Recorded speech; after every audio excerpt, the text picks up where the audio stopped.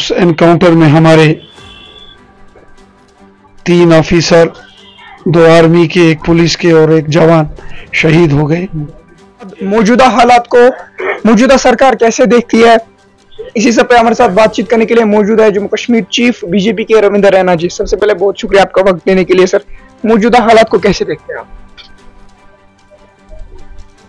कुछ ऐसी वारदातें हुई हैं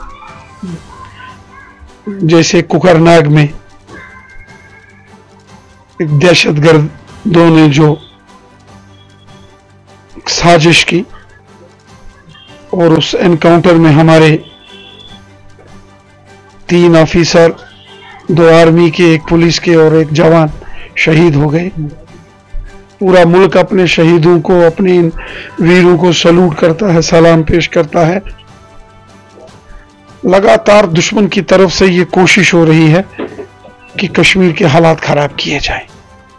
दुश्मन कौन है? आज जब कश्मीर में अमन व अमान भाईचारा खुशहाली यकशती प्यार मोहब्बत से लोग जी रहे हैं इज़्ज़त के साथ लोग अपनी ज़िंदगी गुजर बसर कर रहे हैं जो अमन के दुश्मन है। वो कौन है? जो इंसानियत के दुश्मन हैं बताइए कौन है? जो कश्मीर के दुश्मन हैं वो कौन है? उनको बड़ी तकलीफ़ होती है। बताइए कौन है? वो आपको भी पता है। तो बताइए। पता वो आपको भी पता है अवाम को भी पता है वो कौन है।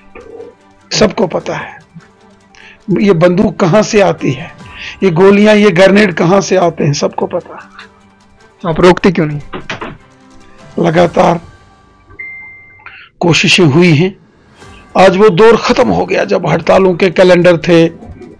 शरेआम मौत का खेल खूनी यहाँ खेला जाता था। आज वो दौर खत्म हुआ है। आज कोई हड़तालों के कैलेंडर नहीं। आज स्कूल, कॉलेज, यूनिवर्सिटीज खुले हैं। बाज़ार खुले हैं। सड़कों पर गाड़ियाँ चल रही हैं। आज तरक्की के नए रास्तों पर जम्मू कश्मीर जा रहा है।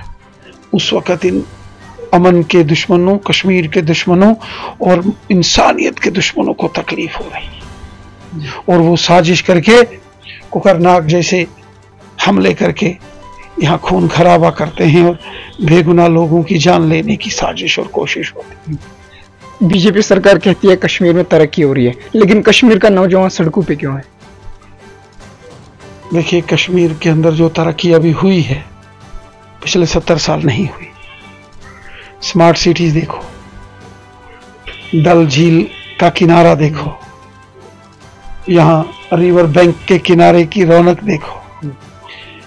अवंतीपुरा का एम्स हॉस्पिटल मेडिकल कॉलेजेस यहाँ के देखो। हाईवेज टनल्स रेलवेज देखो। डेवलपमेंट हो रही है लेकिन नौजवान सड़कों सड़कें गाँव गाँव में सड़कें स्कूल कॉलेज यूनिवर्सिटीज जो बन रही हैं वो देखो। बिजली देखो पानी देखो। बहुत डेवलपमेंट मोदी साहब ने की है।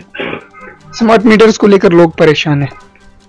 एलजी साहब ने कहा है लोगों की परेशानी दूर करेंगे और स्मार्ट मीटर्स के अंदर अगर कोई खराबी होगी उन तमाम जो लोगों को तशवीश या लोगों को फ़िक्र है वो मसले दूर किए जाए आखिरी सवाल रहेगा आपसे कश्मीर के नौजवान जो इस वक्त सड़कों पर है परेशान है उनके लिए आप क्या कहना चाहते हैं?